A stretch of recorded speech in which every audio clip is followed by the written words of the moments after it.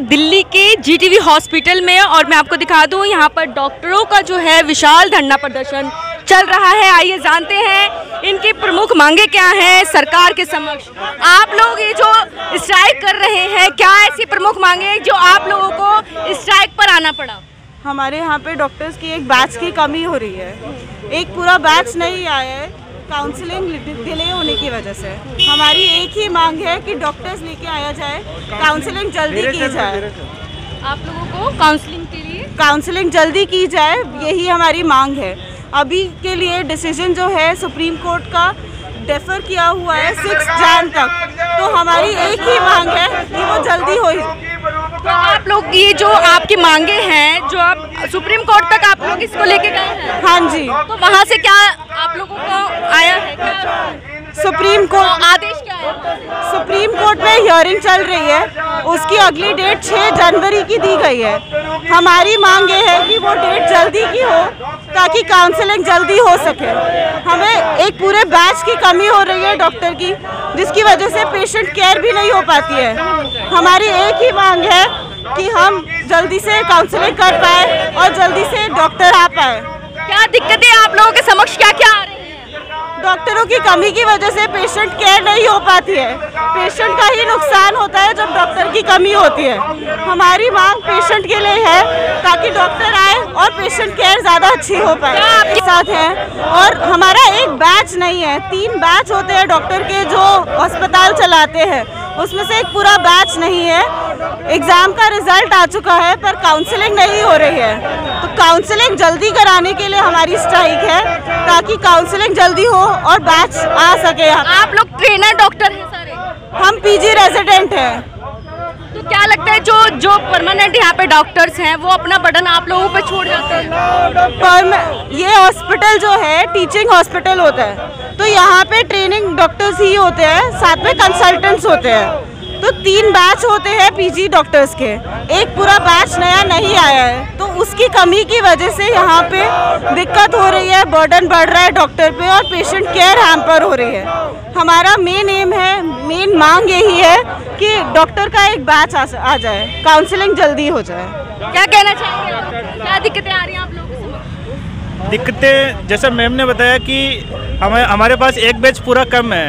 हम जो काउंसलिंग जुलाई में हो जानी थी जो फ़र्स्ट ईयर जुलाई में आ जाने थे वो अभी तक नहीं आए हैं। अभी तक सुप्रीम कोर्ट में सिर्फ़ सुनवाई चल रही है। अभी पता भी नहीं है कि उसका रिज़ल्ट कब आएगा और आगे काउंसलिंग स्कीम कब शुरू होगी और कब तक हमारे फ़र्स्ट ईयर आ पाएँगे।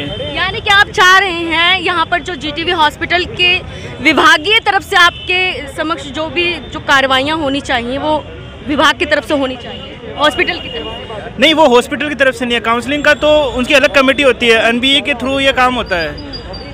लेकिन अभी तक सुप्रीम कोर्ट का कोई डिसीज़न आया नहीं है। कि काउंसलिंग को आगे बढ़ाएँ या कब से शुरू करें? तो कितने ऐसे कितने डॉक्टर्स होंगे जो सफ़र कर रहे हैं? काफ़ी डॉक्टर्स हैं ये हर साल एग्ज़ाम होता है ऑल इंडिया में होता है उसमें करीबन तीस हज़ार के आसपास में एडमिशन डॉक्टर होते सफ़र कर रहे हैं। ठीक है। यहाँ ऑल इंडिया में डॉक्टर सफ़र कर रहे हैं। एक बैच पूरा गायब है हमारा। जो बैच सितंबर में एग्ज़ाम हुआ था और उन्हें एक महीने के अंदर यहाँ पे आ जाना चाहिए था। डॉक्टर जो सेलेक्ट हो चुके हैं। नीट पीजी का एग्ज़ाम हुए सितंबर में हो चुका है। और लेकिन अभी तक जो एनबी जो एग्ज़ाम जिसने यानी कि एक बैच के तरफ़ एक बैच को ही जो है पूरा काम सौंप दिया हाँ। एक बैच को काम नहीं काम नहीं सौंपा गया है। जो बैच को एक बैच जो आना चाहिए था एक महीने काउंसलिंग के अंदर। पर काउंसलिंग तो हुई नहीं है। काउंसलिंग इतनी डिले हो चुकी है। अभी कोई पता नहीं है क्योंकि सुप्रीम कोर्ट में यह मामला जा चुका है। क्योंकि जो दिक्कत आ रही है कि उन्होंने रिजर्वेशन का दे दिया है कि रिजर्वेशन बढ़ा दिया है। रिजर्वेशन बढ़ाने की वजह से अब वो सुप्रीम कोर्ट में मामला चला गया है और ना तो ये खबर केंद्र को है ना एन वालों को है कि डॉक्टर्स कितने ओवर हैं और हमारा पूरा एक बैच गायब है। तो इस ओवर की वजह से हम और बर्नआउट नहीं हो सकते हैं। तो आज आप क्या मांग कर रहे हैं? सरकार से क्या चाहते क्या हैं हमारी सिंपल सी मांग है काउंसलिंग प्रोसेस को जितना फास्ट कर सकते हैं करें क्योंकि बैच आना चाहिए जो डॉक्टर सेलेक्ट हो चुके हैं वो भी एग्ज़ाम सेलेक्ट हो चुके हैं अभी तक वो आए नहीं हैं। हमारी सिंपल मांग है काउंसलिंग कराई जाए। अगर ये डिमांड्स पूरी नहीं होती हैं तो क्या आगे और भी कुछ है आप लोगों ने जो चलती रहेगी हमारी स्ट्राइक चलती रहेगी और आगे एजिटेशन हमें आगे बढ़ाना पड़ेगा।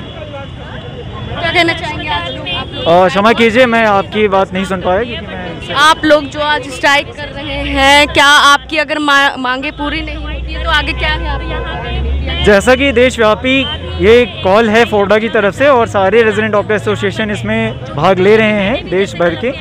हम सारी दिल्ली के जो रेजिडेंट डॉक्टर्स हैं, एक ही प्लेटफॉर्म पे खड़े हैं और जब तक हमारी मांगे, हमारी प्रार्थनाएँ नहीं सुनी जाती हैं, तब तक हमारा ये शांतिपूर्ण प्रदर्शन चलता रहेगा, जिसमें कि हम सिर्फ़ और सिर्फ़ अनावश्यक सुविधाएँ, जो कि नॉन इमरजेंसी सुविधाएँ कही जाती हैं, सिर्फ़ उन्हें और सिर्फ़ और सिर्फ़ रेजिडेंट डॉक्टर्स नहीं जा रहे हैं। हमारी जो फैकल्टी है, वो अभी भी मरीजों को देख रही है। और इमरजेंसी सुविधाएँ और आईसीयू सुविधाएँ अभी सुचारू रूप से बिल्कुल अबाधित चल रही हैं। परंतु हर बार की ये कहानी, ये खेद के साथ कहनी पड़ती है कि हमारे कई प्रयासों के बावजूद जब तक डॉक्टर्स करबद्ध होकर सड़कों पर नहीं आते हैं, तब तक कहीं ना कहीं सरकारें या जो भी माननीय संस्थाएँ हैं, वो शायद हमें उतना ध्यान नहीं दे पाती हैं।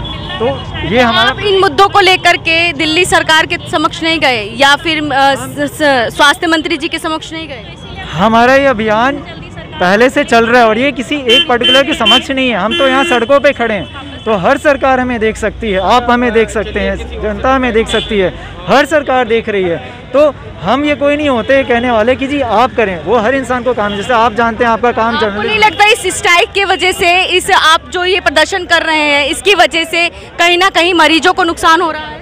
आपसे पहले हमें और जब एक पूरा का पूरा मज़बूत स्तंभ एक पूरा साल आपके पास नहीं है तो हमें ये बहुत गंभीर आशंका है कि आने वाले दिनों में ईश्वर ना करे मगर अगर किसी वजह से कोविड की वेव आती है तो जो मरीज़ व्यवस्था अभी खुद परेशानी झेल रही है वो बहुत ज़्यादा बढ़ सकती है। इसलिए हम चाहते हैं कि सरकार और माननीय सुप्रीम कोर्ट जल्द से जल्द हमारे सभी डॉक्टर्स को देश भर के कॉलेजों में वापस भेजे। आपका नाम? मेरा नाम डॉक्टर विवेक कुमार है। आपने डॉक्टर दीपक।